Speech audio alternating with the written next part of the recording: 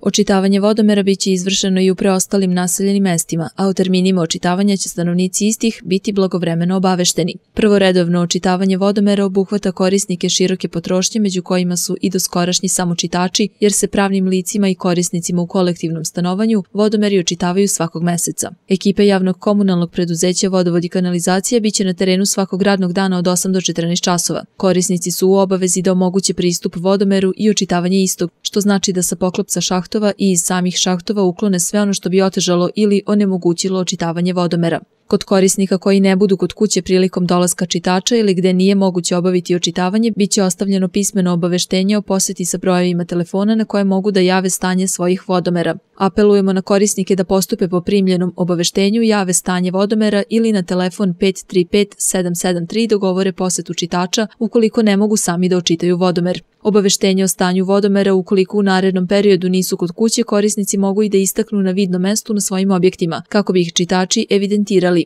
Svi korisnici koji žele mogu prijaviti stanje svojih vodomera i pre posete čitača. Korisnici mogu stanje svojih vodomera da prijave na tri načina. Telefonom svakog radnog dana od 7.30 do 13.30 časova na jedan od sledećih brojeva 535 773, 530 344 ili 593 003.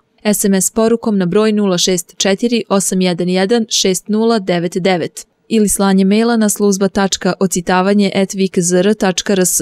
Prilikom poziva u SMS poruci i mailu potrebno je da korisnik navede ime i prezime, adresu i stanje vodomera. Bitno je da korisnici bez obzira na način javljanja prijave stanje vodomera najkasnije do 25. u mesecu.